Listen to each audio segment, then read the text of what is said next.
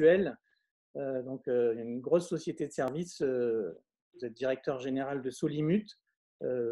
Rappelez-nous d'abord en quelques chiffres la dimension de, votre mutuelle et puis après comment là aussi vous vous êtes organisé? Est-ce qu'il y a eu à la sortie de la crise aussi une accélération sur des projets? C'est intéressant de voir quel est l'effet de, cette crise sur votre activité. Bonjour Pierre. Bonjour à tous, euh, merci pour cette invitation. Effectivement, le groupe Solimut, c'est un groupe de mutuelles, de vraies mutuelles 1945, hein, donc pas de, uniquement de complémentaires santé, on fait souvent la confusion, mais de, de vraies mutuelles. Euh, un petit groupe de mutuelles sur le paysage, puisqu'on représente environ un million de personnes protégées en santé et en prévoyance. Nous avons 11 mutuelles qui composent le groupe et ça compte environ pour 650 euh, salariés. Et on fait, euh, pour vous dire, grosso modo, un demi-milliard de chiffre d'affaires, un petit peu moins. Donc ça reste un petit groupe hein, dans le paysage de la protection sociale français, qui est basé à Marseille. Le siège est à, est à Marseille. Et donc, nous, avons devancé Pernod, Marjorie, puisque nous, nous avons installé notre nouveau siège à l'immeuble Castel, donc à la Joliette, depuis quelques semaines. Donc c'est tout récent. D'accord.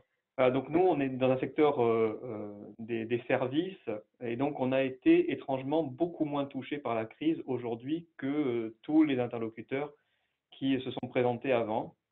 Étonnamment, pour les mutuelles, c'est assez simple. Hein, on encaisse des cotisations par flux et donc les cotisations ont continué à rentrer. Et en parallèle de ça, comme les gens étaient confinés, ils se sont beaucoup moins soignés. Et mhm. mécaniquement, je ne fais pas de dessin, on a généré énormément de trésorerie. Euh, énormément, énormément de trésorerie, beaucoup moins de dossiers à traiter. Tous les salariés ont été mis assez rapidement, en l'espace de deux jours, en télétravail. Ils ont été euh, absolument remarquables. Hein. Je crois Marjorie le, citait. On a une, agilité des salariés qui est exceptionnelle, puisqu'on a l'habitude d'avoir euh, son bureau, euh, son activité, son petit confort, son imprimante, ses collègues, sa pause café. Euh, et là, en l'espace de quelques, quelques heures, hein, on a réussi à mettre toute l'entreprise en télétravail. On n'a pas du tout eu recours au chômage partiel, à part dans quelques toutes petites mutuelles qui composent le groupe, mais c'était très marginal. On a, compensé évidemment euh, l'intégralité du salaire, hein, toujours. Et, et, donc, on n'a pas vécu, nous, ce grand moment de crise. Pour autant, il vient. Euh, pour nous, il vient parce que euh, nos adhérents collectifs, c'est-à-dire les entreprises souscriptrices, ont des difficultés. Elles ont des difficultés importantes pour nous payer les cotisations parce que certaines ont des problèmes de trésorerie et donc nous demandent parfois des reports de cotisations quand elles ne font pas faillite. Donc on n'a pas encore vécu, nous, de, de, grandes vagues de faillite d'entreprises, mais on sent bien que c'est de plus en plus fragile et donc il faut qu'on soit extrêmement attentif à faciliter justement la reprise alors c'est marginal, les cotisations des, santé, prévoyance des entreprises, c'est pas ça qui va du jour au lendemain euh, les aider à redresser leur activité. Mais si on peut nous, en tant que mutuelle et en ayant généré de la trésorerie, les aider, faciliter euh, cette reprise, il faut qu'on le fasse. Euh, on a des secteurs qui sont particulièrement touchés. On, couvre notamment au niveau de Solimut la branche du thermalisme. Et vous mmh pensez bien que pour les gens qui travaillent dans le thermalisme en ce moment, c'est extrêmement compliqué on avait des fins de droit de, portabilité qui intervenaient pendant la période du confinement.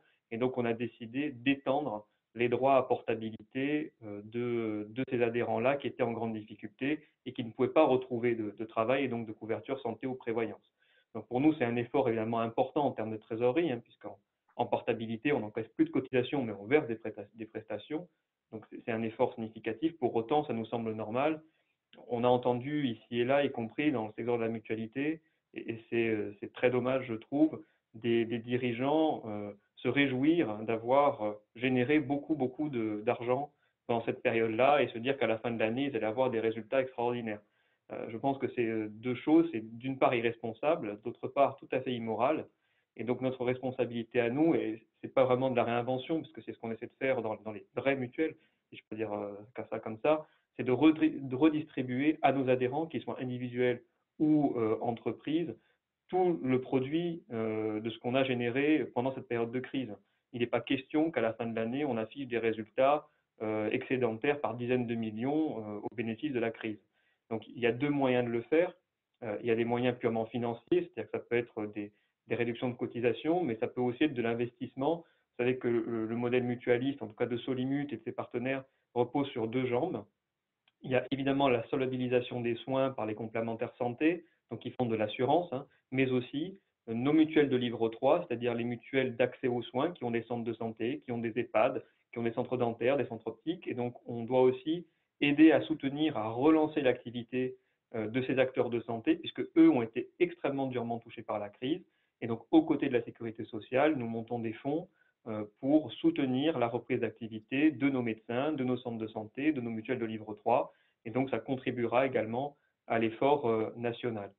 Pendant la crise, qu'on a dû faire également, ça a été d'être au plus proche de nos adhérents, puisque ayant nos agences fermées, même si on avait le droit de les ouvrir, on a plutôt choisi de les fermer par mesure de sécurité pour les salariés et pour les adhérents. Il fallait qu'on trouve de nouveaux moyens de proximité. Alors, ce qu'on a essayé de faire, c'est d'appeler tous nos adhérents euh, les plus fragiles.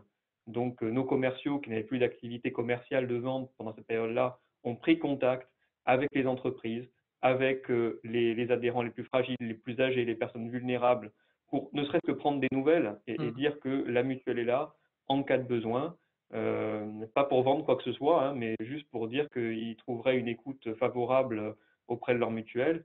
On a également déployé massivement euh, la téléconsultation, ce qu'on n'avait pas encore fait jusqu'à présent, et donc on a ouvert à tous nos adhérents gratuitement euh, la téléconsultation avec, avec nos partenaires.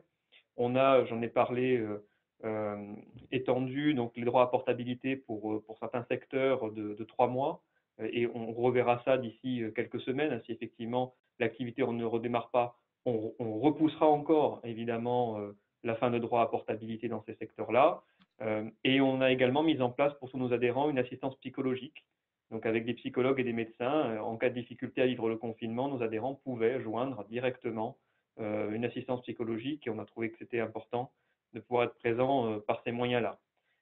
On a également soutenu financièrement, pour le coup, des instituts de recherche médicale. On a soutenu évidemment la Timone, la PHP, la PHM, euh, l'IHU, puisqu'on est, en, proximité, mais également d'autres associations de, proximité, des réseaux de solidarité. Et donc, on a essayé d'être en proximité euh, par ce, par ce biais-là. Euh, voilà ce que je voulais vous dire assez rapidement pour laisser de la place à tous les intervenants. Merci, c'était très clair et bravo pour, pour, votre engagement auprès du territoire. On va donner la parole maintenant à, Samuel Olichon, qui est